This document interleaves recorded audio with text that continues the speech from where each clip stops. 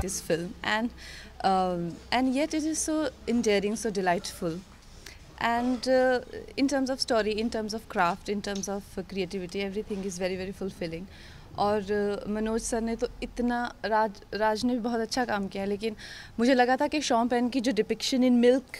में मुझे लगा था वाज वेरी गुड लेकिन मैं कहूँगी मनोज सर ने उनसे भी बेहतर काम किया हुआ है। इतना बेहतरीन uh, काम उन्होंने किया हुआ है कि hundred hundred flying kisses so good so good live comment मिल रहा है आपको अभी मैं मतलब मैं भागना चाहता हूँ मैं भागना चाहता हूँ भागना चाहता हूँ मैं।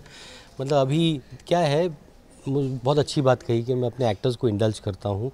तो अब वक्त आ गया है कंगना जी को इंडल्ज करने का।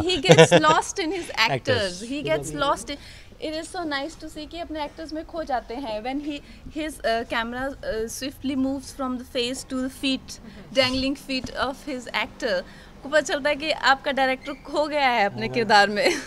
तो अब अब वक्त आ गया है कंगना जी को, के, को इंडल्ज करने का।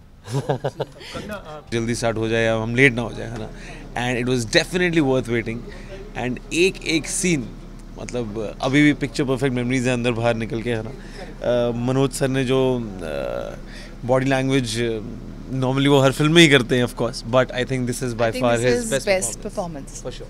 For sure direction के बारे में कैसे What else can you expect from maestro like Hansa Mehta ji? He's, it was amazing. Shahid इतनी खूबसूरत थी and this is I I'm in no position to say a notch better, but it is very very nice, beautiful. Ayushman को miss कर रहे हैं हम यहाँ पर। नहीं नहीं मैं बहुत खुश हूँ उनके बिना।